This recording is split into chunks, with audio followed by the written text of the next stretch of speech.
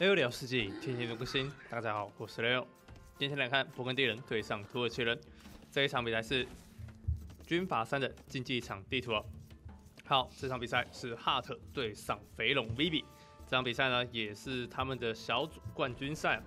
那这场比赛呢，也是 Hart 对上肥龙的最后一场比赛谁赢了这一把就可以晋级啊。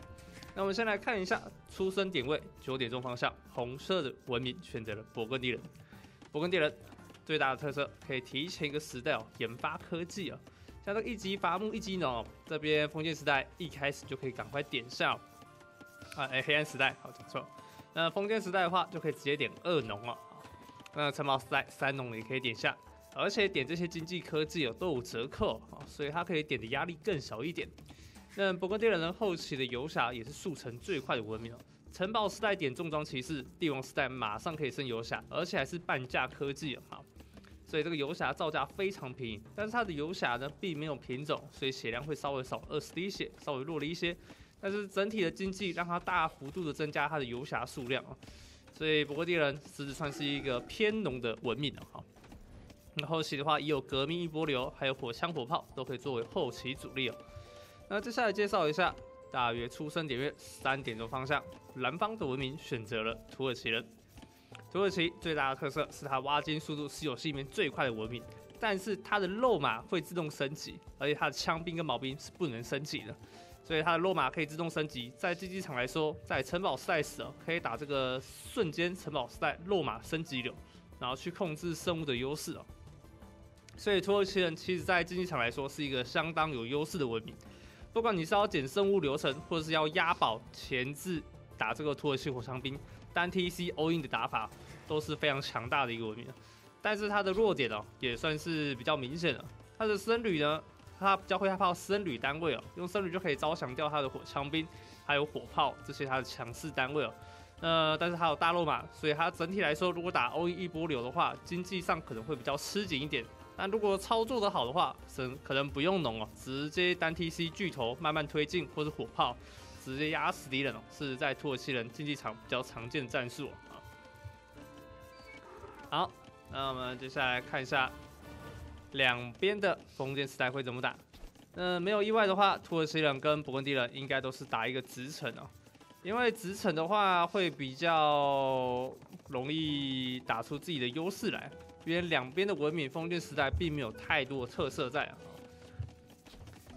好，那勃艮第人现在是有自己的经济优势在，好一农一牧现在已经有了。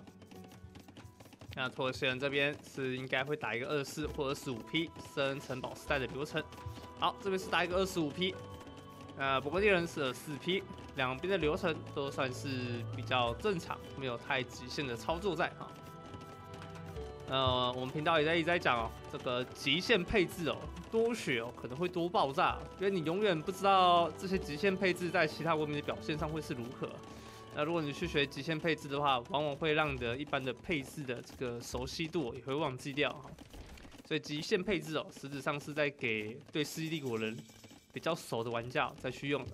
那大部分的情况还是打个二十五 P 或二十四 P 哦，其实就很不错了啊，在机场地图啊。打这个直程流程的时候，好，那我们来看一下两边的升级。那这边可以看到，肥龙其实是可以找一村上去的，呃，二四批也可以上啊。看这个肉已经多了一百多，好，好，这边点下了一级伐木。那不过敌人点下城堡时代之后，马上补下了二级伐木。这里也可以考虑点下二级农田，再去撒农田。但是这边肉会获取的太慢，所以先撒了一些农田。先等这个肉稳定之后，还要再去点这个一级挖金，还要再补个马厩去按些肉马，所以这边压力哦是非常大的。所以二级农田到底什么时候点呢？算是勃艮第人这边的一个重点啊。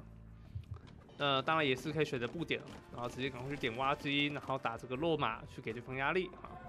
啊，如果是要打赢对方的落马的话，自己只有轻骑兵的情况下，只有斥候情况下是打不赢轻骑兵的。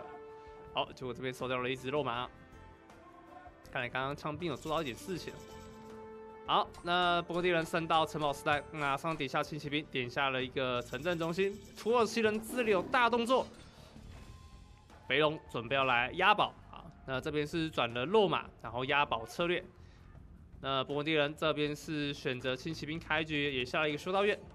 那我们刚开局会讲到，土耳其人的火枪兵是比较害怕僧侣的，因为僧侣的烧响射程是九点。那土耳其人最近的改版里面哦，有把这个土耳其的火枪兵的射程哦减少了一点，所以现在只有七点射程。那七点射程对上九点射程的僧侣哦，现在来说僧侣还是比较好解决土耳其火枪兵的，而且土耳其火枪兵射程越远哦，这个命中率就越差哦。所以现在僧侣只要遇到火枪兵的话，一般基本上都是能处理的状态啊，不会像以前可能还会打个快要五五开。那现在很明显，僧侣对土耳其火枪兵是六四开了，更具有优势一些哦。好，这里直接补了双修道院，后面直接打一个防守反击，开始盖城镇中心。那这边 Hart 要思考是要三 TC 农上去，还是要双 TC 挖石头插宝防守的一个策略哦。那如果这边是选择插宝防守的话，那当然压力会少了很多。但是挖宝的话，上帝王时代速度又更慢了一些，产巨型头司机的速度会更慢，所以 Hart 在这边的想法可能会要去思考一下，自己要走哪一个流程会比较好哈。这是一个分支打法。那土耳其人这边是选择了火枪兵，好，开始往前 A，然后轻骑兵。那轻骑兵在这个地方就不会再多做太多了啊，因为轻骑兵只是要暂时压过去盖堡成功而已。那这边生物就可以赶快捡，去捡一些生物回来。哎，这边怎么三只肉马打倒一只骆驼？这个奇奇怪的画面。好，那现在说明书来说是波文地人暂时领先五村，土耳其人单 TC O E 一波。那看一下家里的经济状况，家里经济状况只有八片农田，维持着村民的。正常产能哦，黄金的数量是九个人在挖，木头的话是八个人，啊，八个人在挖，然后一个人挖石头。那为什么要挖石头呢？这边有可能是要去盖这个城堡，继续往前推哦。但他意图并不是明那种明显哦，也有可能想要开 TC。但如果土耳其挖宝前要又开 TC 的话，那他这套打法的压意义就不见了哈。所以这边飞龙这边一个人挖石头，可能有点想法啊。待会要去盖个什么前压宝，碰住两个修道院，给对方更大的压力啊。好，这边落马过来解掉这三只僧侣的话，肥龙压力就会变得很小。OK，肥龙这边只解掉了一只僧侣，僧侣没有点下神圣思想，显然只有三十滴，最后还射到了。哇靠，你这是杂鹤孙氏啊！居然这么远还射得那么准啊！好，一只僧侣还是被射倒了，后面的三的五只轻骑兵继续往后绕。那现在这些轻骑兵的用途呢，是要赶快控制土耳其人去捡生物。只要生物捡的越慢哦，那这边的经济加成就越少，而且还可以多多抓一些僧侣，啊，让他被迫按更多的僧侣哦去产出黄黄金，消耗在僧侣上，这样地龙时代就更慢一点了。这算是竞技场来说的比较困难地方，因为大部分的玩家可能是在防守方面啊，不会去做这种机动性的骚扰啊，去阻止对方去捡生物。那如果对方出骆驼怎么办呢？那那就给他出吧，他骆驼越按越多，地龙时代就越慢啊。所以这是一体两面的事情啊。他按骆驼，地龙时间就慢。那如果你不出骆马去骚扰他的生物的话，那他的黄金就会非常多，而且僧侣的数量也是非常多的。所以这个就是一个竞技场的比较常见的攻防战哈。好，那不过地人这边点下了织布技术，这边是双 TC，黄金有点多，准备要盖个四级吗？啊，四级已经盖好了，准备靠一个马卖流，但是火枪已经开始往前给压力了。不过地人开始把黄金挖了起来，七个人挖金。好，僧侣招降下，还有三只僧侣。土耳其人十九分点下了帝王时代，好，相当快速的一个流程啊。好，那帝王时代补下之后，这里就要来思考，要不要先盖一个工程七制造所去补下火炮啊？因为补火炮的话是可以马上成型的。土耳其人是免费化学的关系，帝王时代还不用研发时间跟这个资源，一上去就有化学，所以他走把走这个马工路线哦，也是蛮厉害的，马上就有化学科技。好，那飞龙这边是把石头好像卖掉了，然后拿去换黄金升帝王时代，没有打算来插火炮塔，或者是要来插城堡。那火炮塔来说的话，其实在这个阶段也不是非常适合，因为这个研发价格实在是太贵，所以这个石头挖上去了，也不可能是火炮塔的这个选项。好，看来只是单纯是挖石头拿去卖而已。好，一支轻骑兵又砍掉了一只僧侣。哈特这边打得非常好。呃，土耳其人这边点下了前程科技，飞龙这边先转了一台冲车，先拆除前方的修道院。呃，哈特在后方补了一根城堡。好，那可以明显看到，现在轻骑兵做到了很多效果。土耳其人的僧侣只剩下一只，这边轻骑兵一直在看生物的位置哈，而且也确实击杀到了蛮多的僧侣，所以看到土耳其的正面的僧侣数量就会很少哈。好，那但是土耳其人肥龙并没有转骆驼出来，所以现在捡圣物压力会比较大一点。但是现在重点已经不是在圣物了，而是在这边要怎么赶快推进哦，赶快把 Heart 这里给秒杀掉啊！好，但不过敌人家里有一堆僧侣防守，火枪兵没有办法直接往前。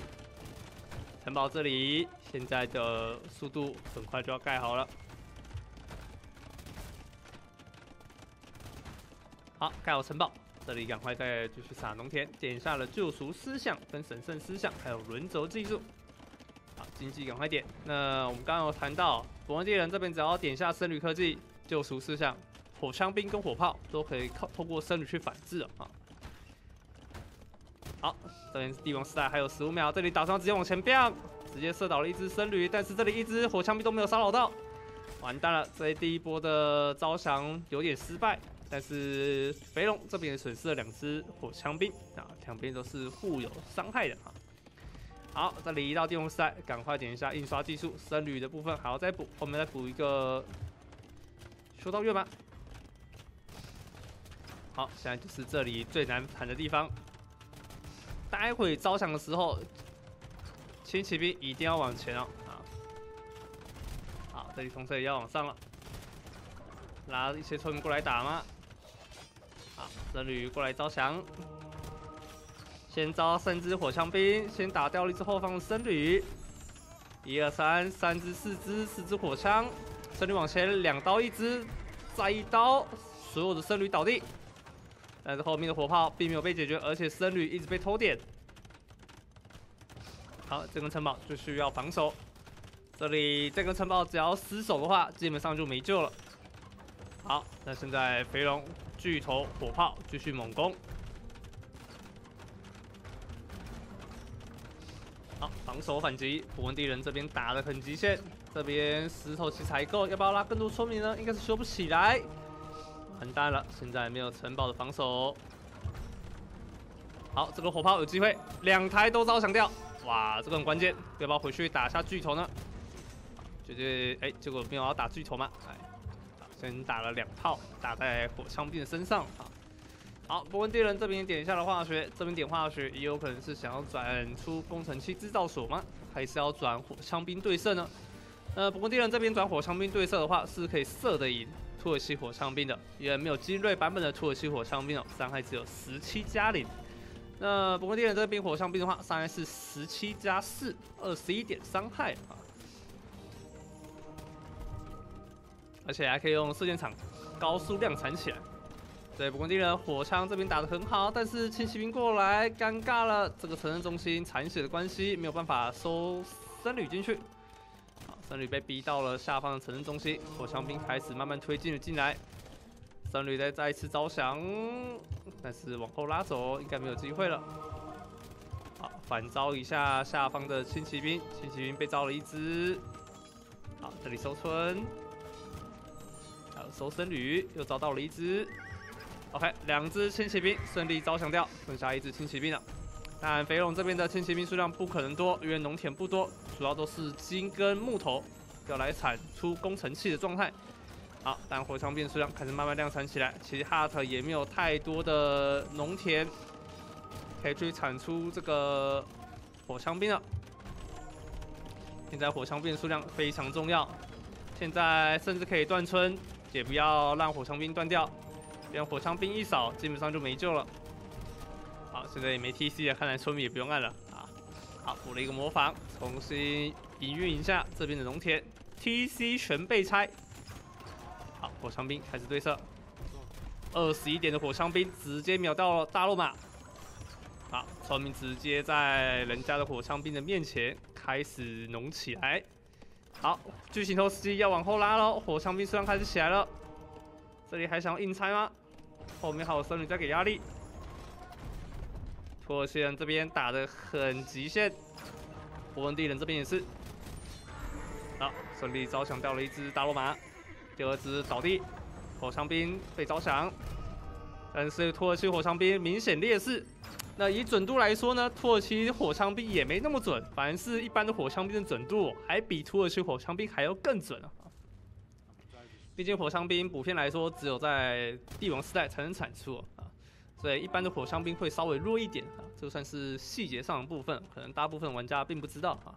所以为什么这边火枪兵可以推进这么顺利啊？是因为它的准度也会比一般的火枪兵还要更好哈。好，那土耳其。现在是单 TC 继续农，上面补了一个城镇中心，上面想要开始控图，把这个黄金资源全部控下来。那现在如果要转农的话，土耳其人也土耳其人也没有太大的优势，但转农的话还不会保证说一定就炸裂。但是如果继续打单 TC 继续推进的话，优势也没那么大，除非自己要点下火炮术科技金冠技术，才有可能用火炮去 poke 这些僧侣跟火枪兵哦。但是金冠技术消耗的资源有点庞大，肉跟金消耗很多。那这边是决定要继续打单 DC，没有想要给 Hart 这边有更多的回农机会啊。那其实刚刚大部分农田都还健在啊，只要插下个模仿，就会回头继续开农。好，这下不过地人也转出了火炮，火炮现在伤是五十点伤害啊，拆建筑物伤害是非常高的一个文明。哎，这里种城堡。枪兵找不到，好，右边城堡盖好，这里控堡，再来一根，OK，又碰到这个城镇中心，先把中间的城堡解决掉。好，火枪兵又往前，又要往后拉了，火炮有点危险。好，拉村过来修理，好，赶快用圣去招降火炮，这个火炮有点被吊到了，好，但是没有救赎思想，应该救不到。回头打一发，没有 poke 到，好，追不到，追不到。哇，回头打，好像再一下就可以，还在 on，有机会，不要停，哈特这边不能停。要招到了吗？两只去招，最后用极限拉走火炮的方式，成功守住。哇，这个神女差点就招想到了。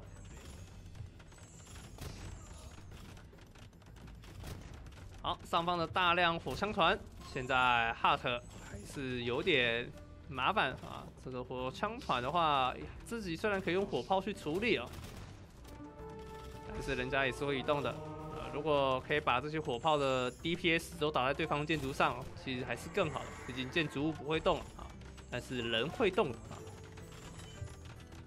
好，我们敌人这边点下了重装骑士。哦，这个土耳其。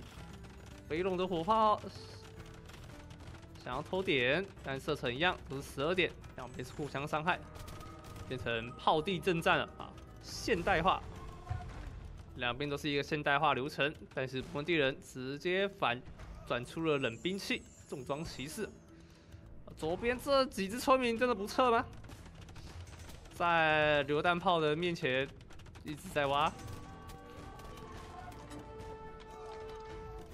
这里回农一下。现在七十六村打六十村，两边经济差距已经来到六千资源的差距。现在肥龙这边回农已经为时已晚，这边绝对不能打回农了。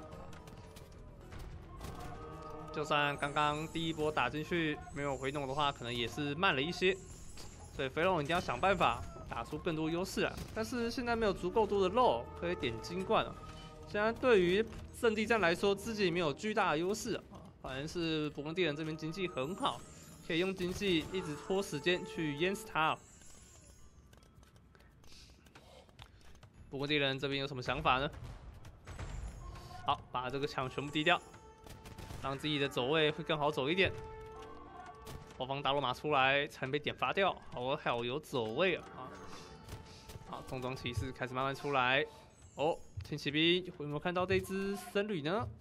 我没有看到。天骑兵的目标是在右边控圣物吗？看起来是。好，这一波又有大规模动作，火炮躲一下，会顺利躲掉。好，四个生物打喷出来，啊，结果捡的生物都为了 Heart 而去捡出来。好，这里可能要决战了吗？火枪兵突然往前，但这波往前并不是很好。Heart 这边的火枪兵数量更多，现在 Poke 的数量不够多。现在往前打的话，可能会越打越劣势。转了一台轻型投石车。那土耳其人的投石车是不能升级的，所以这里产投石车是为了什么也不太清楚啊。毕竟人家僧侣有救赎思想，投石车出来可能也是被点掉。而且一发清头，现在应该是打不死火枪兵了。火枪兵现在要点一级工兵铠甲。好，这边找到一个捡生物的时间，偷捡了两颗生物回家，但是僧侣还在后方尝试招降火炮。好，生物开始慢慢捡回家。村民数八四村对六十七，火枪兵有点找不到人生方向，自陀罗王撞向了城堡。啊，这个就是赶着去投胎啊！这个火枪兵。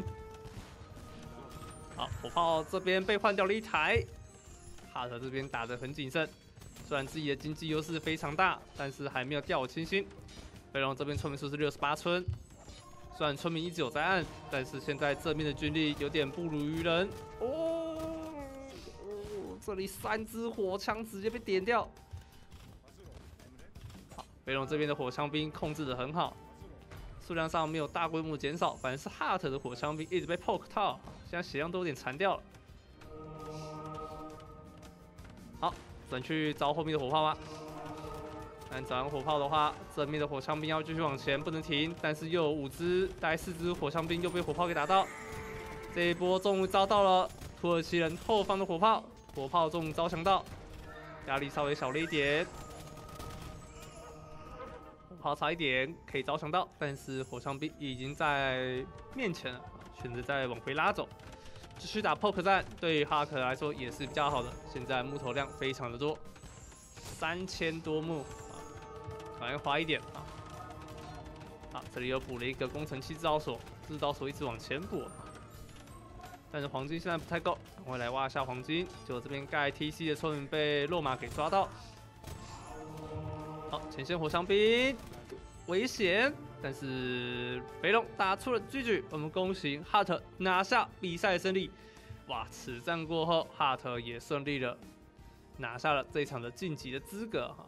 啊看一下经济的部分，那经济的部分是由勃艮第人拿下资源上的胜利。